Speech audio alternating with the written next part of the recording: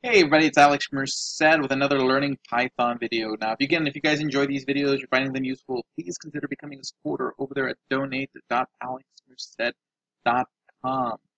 Okay, the more support I get, the more time I can dedicate to making more of these videos on more in-depth topics uh, in more in-depth ways. So please do consider doing so, whether it's a one-time donation or a monthly donation. It goes a long way. Now, Today we're going to be talking about is arithmetic operators and assignment operators. So these are just basically, we already know one operator. That's the an assignment operator of A. So if again, if I said A equals 5, meaning take the 5, put it inside of A. So A is going to have 5 inside of it. So I mean indent there. Indentation's very important in Python. We'll talk more about that later when we get to ifs, whiles, all that stuff. So A 5, I like my spaces, makes it little cleaner. Okay, so again, A, so inside A is 5. But there's also arithmetic operators. So for example, if I were to do 5 plus 7, okay, we've kind of assumed that that just works before, but just to kind of, that adds, obviously. Now, if we were to do 5 minus 7, that would be subtraction. Okay? Those are pretty straightforward. But what about multiplication? A lot of times people think an x is multiplication, but not in programming. Programming is typically the asterisk. So if I want to multiply, I would do this. 5 times 7, 35. If I wanted to divide, it would be this. Okay? So those are your basic. Now you got a couple special ones. First we'll do floor division. Okay, so 5 say 5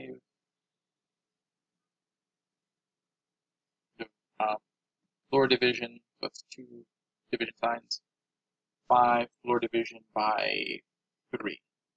Okay, so what this does is that it's going to divide 5 by 3 and then round down. So we can already tell that 3 only goes into 5 once with the remainder, and regardless of what that remainder is, it's going to round down. Okay? So it's only going to give me 1. Okay? Now, for example, if I were to do 9 floor division 4, we know 4 goes into 9 twice with a little bit of a remainder. Okay? Um, with a little bit of a remainder, so it's just going to round down, the answer should be 2. So that's what floor division is. It's just automatically going to round down after dividing. And again, these are things that are going to be useful for certain situations. Um, you'll know when you get there, but you need to know that these things are there for you to use. Now, here's the one that is a little bit more harder to understand. It's called modulo.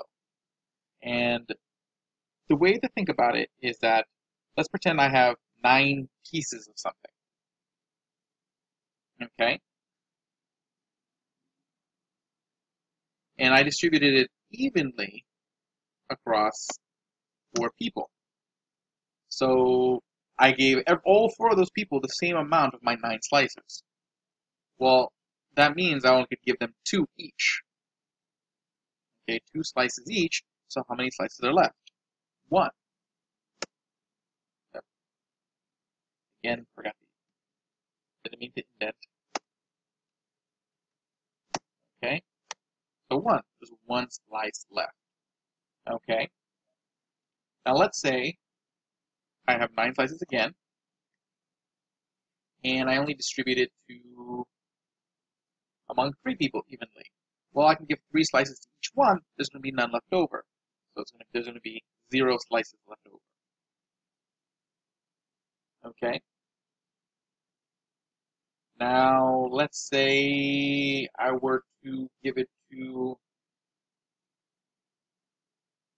two people. So if I well, actually let's make use a different. Let's say again nine modulo two. Again, I invented that habit. Okay. So if I were to give evenly distributed slices to two people, I could give both of those two people, let's see here, four slices each. Okay, but there'd still be one left over. So there's one slice left over. Okay. Now let's say I did something like 10. Okay? 10 modulo 4. Okay? Now, for those four people, okay, I can give them each two slices. Okay, because if I were to give each three slices, it would be more than 10. And otherwise, I can't give an even amount to each person. So each person gets two slices out of my 10 slices. So 2 times 4 is only 8. That's not all my slices. I'm still going to have 2 left over. So my modulo is 2. So how many slices I have left over after I've distributed it evenly to a certain sort of number of people. That's way you want to think about it. Um, because I'm not going to give a partial slice to anybody. So this is useful when you're talking about like full units that you're, you're not going to divide unevenly and trying to figure out, okay, how many are left over.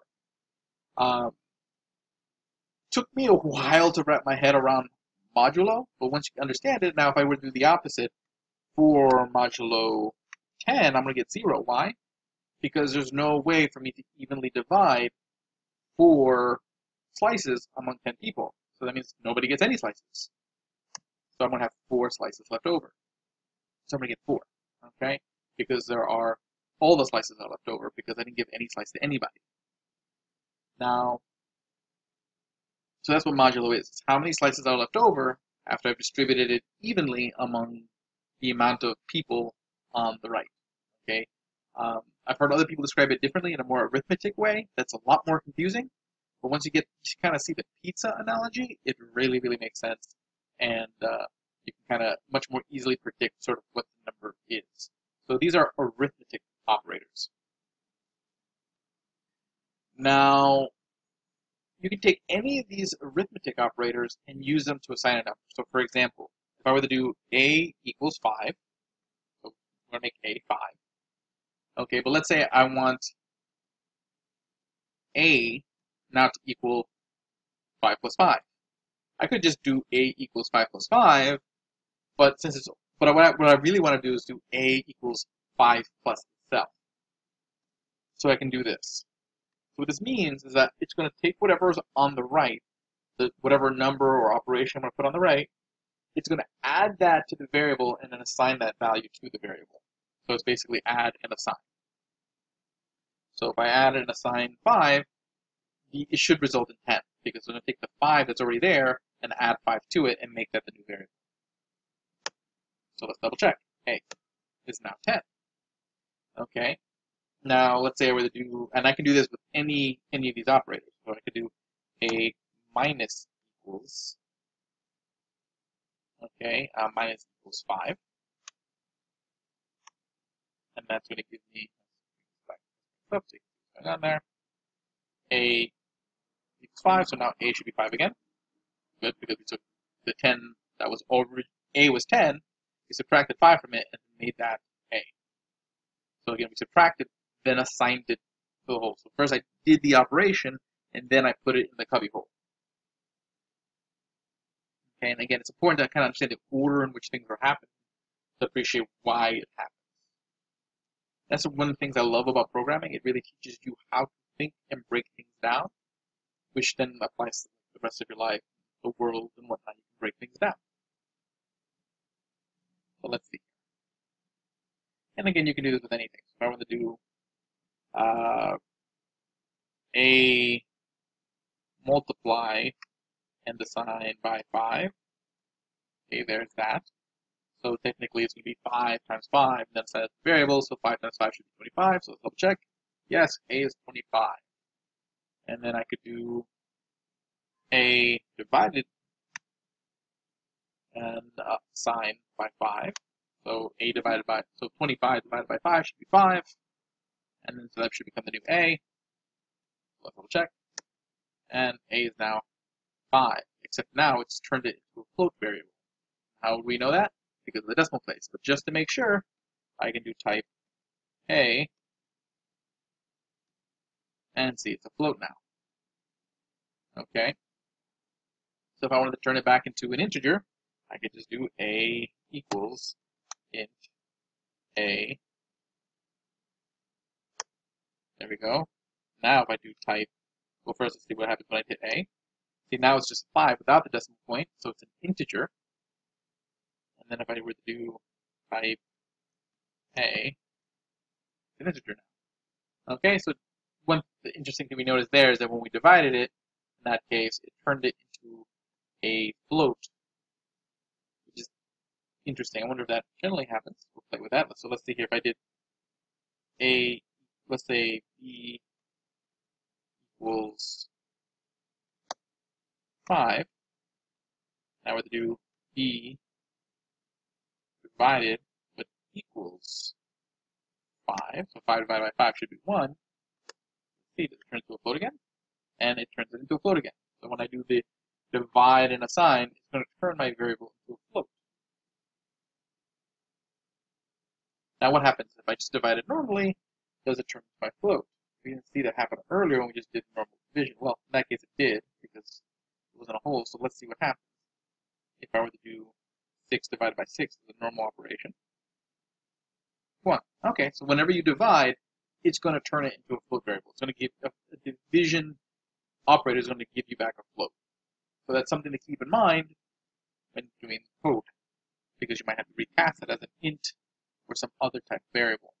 Okay, so those are again your arithmetic operators, which is sort of plus, minus, uh, multiply, divide, and then your assignment operators where you can, I mean, of course, there's equal, where you just assign it with a normal equal, but then again, you can do some sort of arithmetic operation before assigning, and you could also do it with modulo and floor division. Um, you can do that. So that's that. See you guys in the next video. Have a great one and enjoy.